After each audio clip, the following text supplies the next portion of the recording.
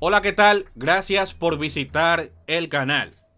Señores, crecida del río Masacre afecta trabajos de construcción del canal en Haití. La crecida del río destruyó parte de la estructura en proceso de varillaje.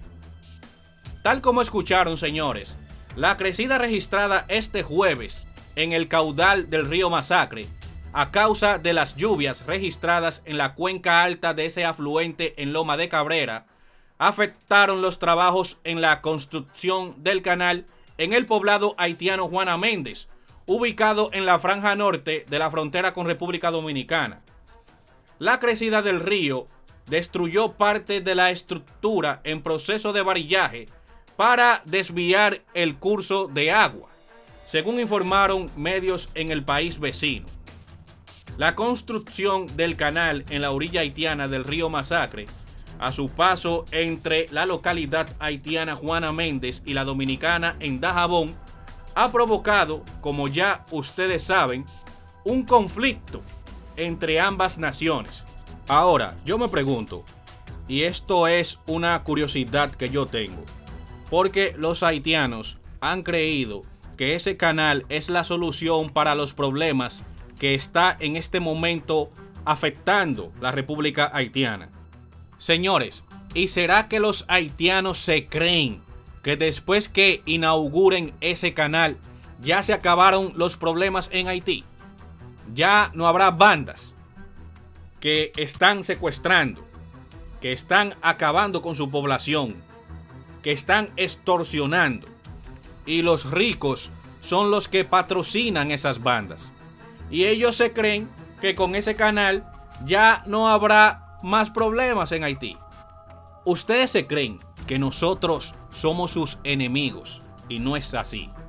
Nosotros no somos racistas porque nosotros tenemos algo de negro en nuestro cuerpo.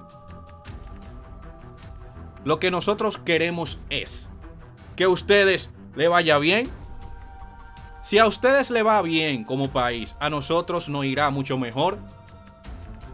Porque nosotros gastamos una millonada en los partos de las mujeres haitianas. ¿Eh? Ustedes controlan la mano de obra eh, eh, en cuanto a la construcción en este país. Porque el costo que demandan los dominicanos, los empresarios no lo quieren asumir y por eso buscan mano de obra barata entonces ustedes han sido privilegiados en este país, pero a la vez han sido malagradecidos. Nosotros lo que estamos es exigiendo que haya un control migratorio en nuestro país. Eso es lo único que nosotros estamos exigiendo, porque todos los países cumplen con su migración. Cumplen con las leyes. Y aquí en República Dominicana tenemos que cumplir con las leyes. Al final ustedes hicieron su río Masac, su, perdón, su canal. Lo están haciendo. Pero ustedes creen en sus cabezas que esa es la solución para los problemas que está presentando ahora mismo Haití como nación. Hasta que ustedes no tengan un buen gobierno que se preocupe por su gente y por sacar hacia adelante ese país, ustedes seguirán con los mismos problemas. Hasta que ustedes no se pongan así en unión como se unieron para construir el canal, para enfrentar las bandas, ustedes seguirán con los mismos problemas. Porque los problemas no somos nosotros. El problema no es República Dominicana con ustedes. El problema lo tienen ustedes mismos, que no lo han sabido enfrentar.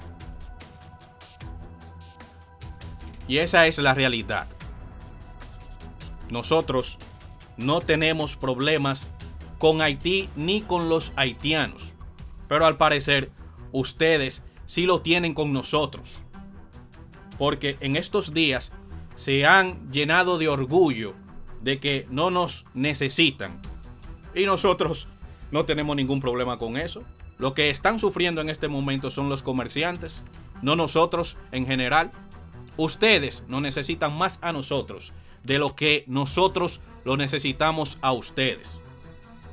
Sigan con su canal y ya verán que cuando ese canal sea inaugurado, seguirán con los mismos problemas. Porque no es el canal la solución, señores. La solución es que ustedes se pongan los pantalones, así como se lo pusieron, para eh, enfrentar a la República Dominicana, que lo único que ha hecho es ayudarlos a ustedes.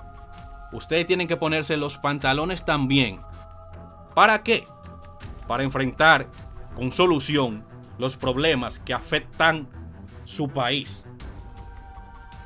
Eso es todo, señores. Recuerden que como siempre, pueden dejar su importante y valiosa opinión en la caja de los comentarios. De mi parte, nos vemos hasta un próximo video. Hasta luego y bendiciones para todos.